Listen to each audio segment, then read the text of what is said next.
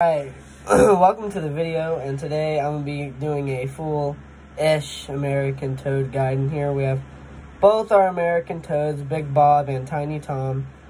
And, uh, I don't know if you guys follow the TikTok, but we just had, like, our first video blow up. Like, it's been out for 30 minutes, already has 200 views, 30-something likes or something.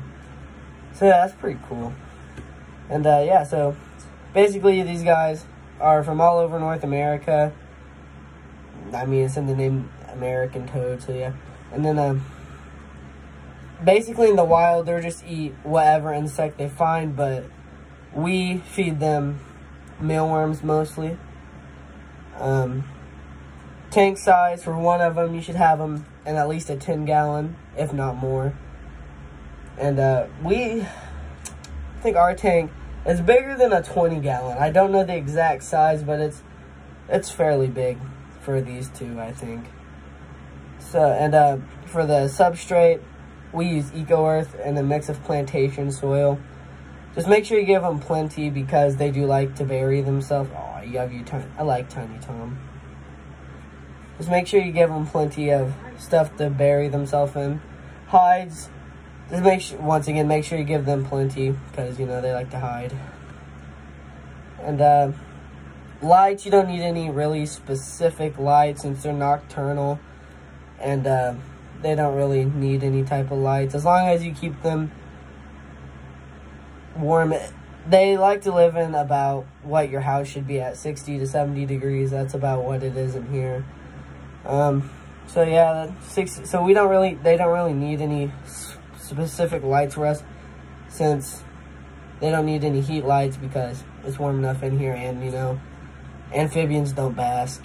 And, um, it's just warm enough in here. And they're nocturnal, so they don't need any UVB or anything, but we turn on LED lights during the day just so we can look at their enclosure.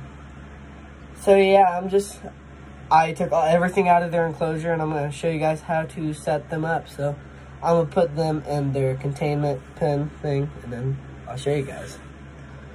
Alright, so here we just kind of have a whole bunch of uh, the Eco Earth and all that So Right now we're just to basically evenly distribute it. That's pretty good.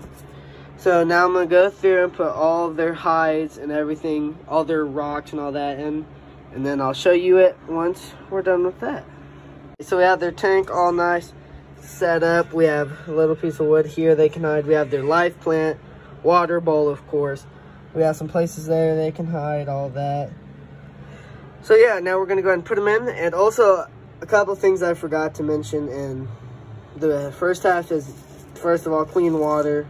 And we put tiny rocks in there just to make sure they don't have any risk of drowning. They're not in there now, and yeah, we need to also change their water.